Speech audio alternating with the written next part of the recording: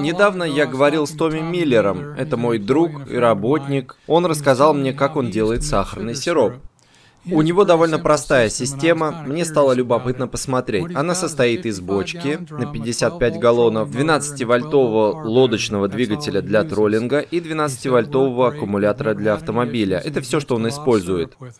По его словам, система работает прекрасно, у него нет никаких проблем с ней, и он смешивает много сахарного сиропа с ее помощью. Показалось, что это отличный вариант для пчеловодов с небольшими и средними пасеками, которые ищут недорогой способ смешивать сахарный сироп. Я попросил Томми сделать ролик, и он привез установку, и мы сняли видео. Это действительно очень простая установка. Он использует небольшой нагревательный элемент, установленный на дне бочки для разогрева воды. Он говорит, что это отлично работает. Не вижу никаких проблем, чтобы взять простой шланг подключенный к водонагревателю дома, и заполнить бочку теплой водой оттуда. Уверен, что вода будет достаточно теплой, чтобы размешать сироп в пропорции 1 к 1, и, вероятно, даже полтора к 1. Думаю, это сработает хорошо. В любом случае, я был впечатлен. Установка работала лучше, чем я думал. Кажется, что это будет хорошим вариантом для пчеловодов с небольшими пасеками. В любом случае, мы сняли видео, сейчас я его вам покажу. Надеюсь, оно будет интересным и поможет кому-то из вас. Это внутренняя часть бочки. Вы можете видеть внизу у самого дна нагревательный элемент, а справа находится винт двигателя для троллинга. Томми включит его, посмотрим, как он работает. Все очень просто, но установка, кажется, свою работу делает. Я впечатлен.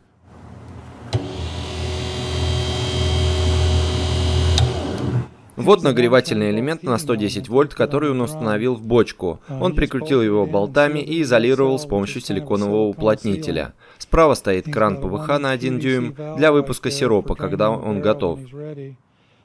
Я думаю, что можно установить сюда рукав и заполнять ведра, банки, любую тару, какую захочешь, прямо из бочки.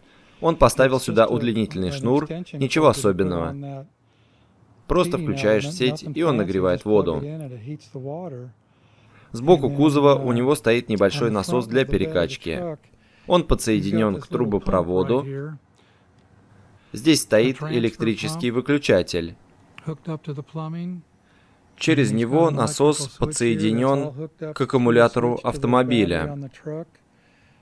И, конечно, он подключен к трубе.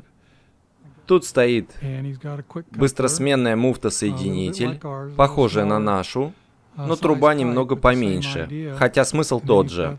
Далее у него подсоединен красный шланг, который он бросает в бочку. Мы заполняем бочку до тех пор, пока уровень не будет выше нагревательного элемента, и затем я включаю его.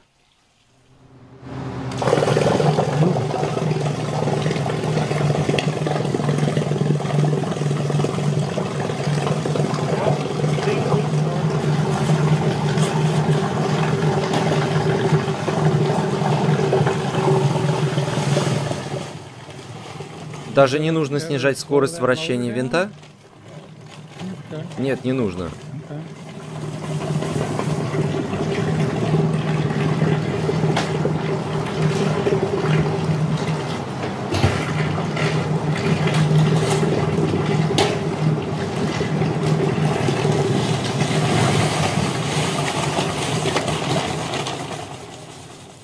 Ты высыпаешь весь сахар? До заполнения бочки водой.